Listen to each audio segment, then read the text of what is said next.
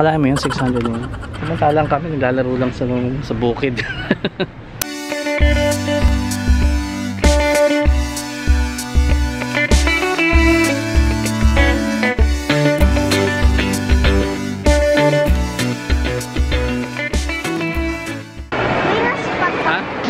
Ano? Ano Toys R Us dito. Papasok ba tayo dyan? Bakit? ano ba hinahanap mo? What's that? Fluffy. Fluffy something. Oh, mahal naman, 400. Sli- slimy cafe. Ito, mayroon yung smaller. Oh. Hindi ba fluffy din yan? Eh, hindi. Mush, mush, mush. So soft, so cute. Parang ganun din siya. How much is that? 2 230 na ang mahal naman. Eh, ito rin na may ganun din sa loob. oh. Parang egg na, ito ba yung egg na nag-hatch? Ganito yun. Hatchimals. Magkano yun? Si- 700. Pero malaki yung nakita ko sa kanila. Ah, ito yun! Ito yun! yun yun, yun yun. Mahal siguro yan. Oo nga. Oo nga. 4-5. Oh no! Anto squishy din. Mushy, smushy, smushy, mushy cup and cup cup and cakes. 600. Kala mo yun, 600 yun. Samantalang kami naglalaro lang sa sa bukid. Cute titos. Ano hinahanap mo? Squishy na naman. San, san katutak na squishy na meron siya pero squishy pa rin nahanap niya. Ano to? Mini collectibles. Hand painted. Ang cute oh. Ito, ito yung mga ano niya. Collect them all. What is this? Party Pop Teenies. Double Surprise Popper. 800. This is 800 pesos.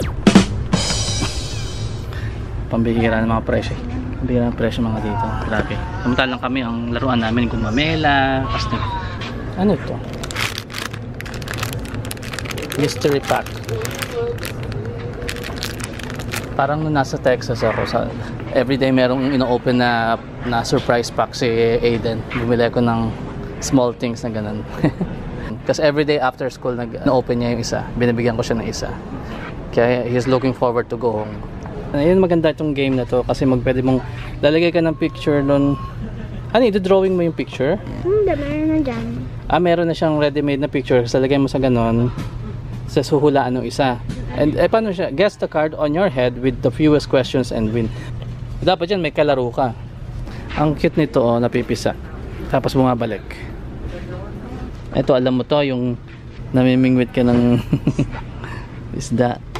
Pop, pop, pop, pop, pop, pop, pop, pop. Ano yung bear?